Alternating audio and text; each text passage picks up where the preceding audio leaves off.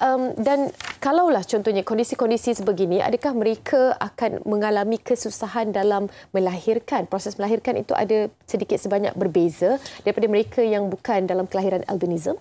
Uh, memang tiada masalah yang kita jumpai. Mm-mm. So kelahiran tu normal. adalah seperti normal mm-hmm. dan anak tu akan dilahirkan macam normal Mm-mm. dan sihat.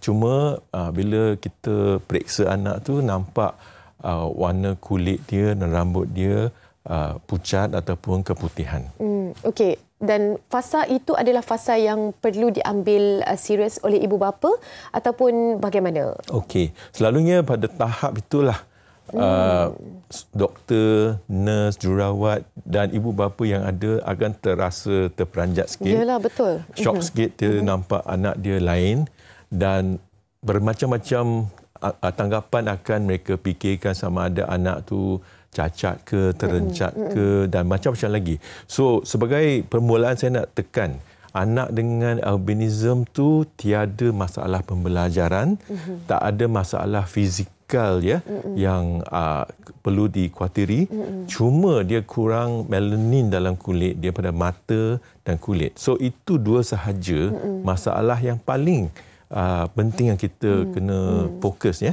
yeah. bukannya benda-benda lain yang uh, selalu yang dirisaukan. yang dirisaukan. Hmm, Betul. Sepanjang pengalaman profesor melihat kepada kondisi-kondisi ini adakah reaksi-reaksi ibu bapa yang sedikit kurang penerimaannya untuk kelahiran albinism ini? Selalunya bagaimana? memang kita tengok ibu bapa tu terperanjat besarlah. Hmm. Mereka jadi depres, hmm. takut hmm. sebab ada kalanya mereka fikir tersalah makan ke hmm. uh, mungkin ada yang kira orang jampi ke Yalah. kena sumpah mm-hmm. ke mm-hmm. macam-macam benda ada juga tanggapan sebegitu yang negatif mm-hmm. macam tu so yang penting tu bagi masyarakat kita ni adalah untuk mengikis ya mengikis uh, uh, maklumat yang tidak betul yeah, yeah. supaya kita mendapat kesedaran yang sebenarnya mm-hmm. apa uh, Uh, kondisi albinism ni. Ya, ya. Bila kita faham kondisi albinism ini, ianya mungkin dapat sedikit sebanyak membantu penerimaan kita untuk fasa yang pertama sekali, fasa yang dikatakan kelahiran uh, mendapat kelahiran albinism.